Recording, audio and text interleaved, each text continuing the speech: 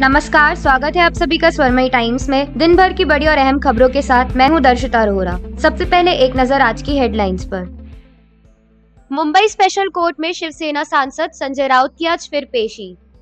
विश्व आदिवासी दिवस पर तीन दिवसीय फ़ोटो प्रदर्शनी 9 अगस्त से। भारतीय महिला क्रिकेट टीम ने जीता रजत पदक। प्रवर्तन निदेशालय मनी लॉन्ड्रिंग के एक मामले में शिवसेना सांसद संजय राउत को आज यानी सोमवार को मुंबई की एक विशेष अदालत में पेश करेंगे। अदालत ने गत गुरुवार को राउत को ईडी हिरासत की अवधि 8 अगस्त तक के लिए बढ़ा दी थी।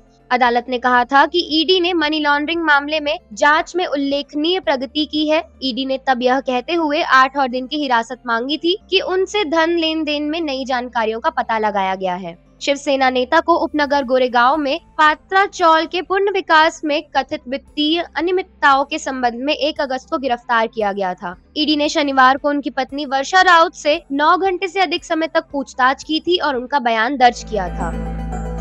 छत्तीसगढ़ शासन की संस्कृति विभाग द्वारा विश्व आदिवासी दिवस के अवसर पर छत्तीसगढ़ के आदिवासी समुदाय की विविध एवं अद्भुत संस्कृतियों पर केंद्रित तीन दिवसीय फ़ोटो प्रदर्शन का आयोजन रायपुर घड़ी चौक के पास स्थित महंत घासीदास संग्रहालय में 9 से 11 अगस्त तक किया जा रहा है। फ़ोटो प्रदर्शनी का शुभारंभ 9 अगस्त को दोपहर तीन बजे से होने वाला है।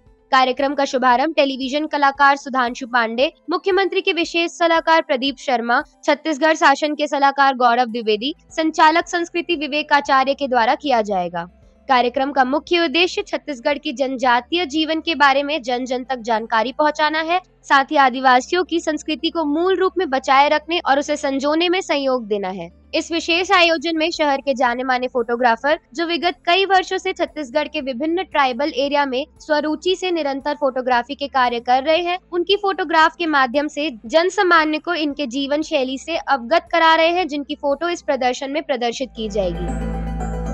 राष्ट्रमंडल खेल 2022 में भारतीय महिला क्रिकेट की टीम ने पहला रजत पदक जीता। जानकारी के लिए बता दें कि फाइनल मैच ऑस्ट्रेलिया और भारत के बीच खेला गया था, जिसमें ऑस्ट्रेलिया ने भारत को नौ रनों से हरा दिया। जिस पर टीम की कप्तान हरमनप्रीत कौर ने मीडिया से बात करते हुए कहा, मैच हमारे पूरे हाथ में था, लेकिन आखिरी ओवर में हमसे कुछ गलतियाँ हुई, जिसकी वजह से नुकसान हुआ। हमने बहुत जल्दी विकेट खोया, स्वर्ण पदक मिलता तो ज़्यादा अच्छा होता, लेकिन मैं संतुष्ट हूँ की हम कुछ हासिल करके जा रहे हैं। इसी के साथ आपकी जानकारी के लिए बता दें कि राष्ट्रमंडल खेलों की मेडल स्टैंडिंग में भारत पाँचवें स्थान पर है, जिसमें भारत ने अब तक 18 स्वर्ण 15 रजत और 22 कांस्य पदक सहित कुल 55 पदक हासिल किए हैं।